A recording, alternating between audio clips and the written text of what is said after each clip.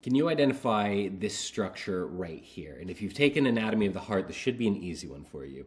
Now, starting off first, are we looking at the heart from an anterior or a posterior perspective? Well, we're looking at it from a posterior perspective. And one giveaway is this structure right here. This is going to be our left atrium. This is located kind of posteriorly, and you can see it has four vessels which drain into it. These are going to be our pulmonary veins. These are carrying oxygenated blood from the lungs back to the heart via this left atrium. You can also see we have our inferior vena cava, our superior vena cava. These drain into the right atrium, which is kind of located a little bit more anteriorly. This is going to be our aorta. As it comes off, uh, it transitions into the arch of the aorta and then down into the descending thoracic aorta. This right here, this would be our pulmonary trunk, which divides into our two pulmonary arteries.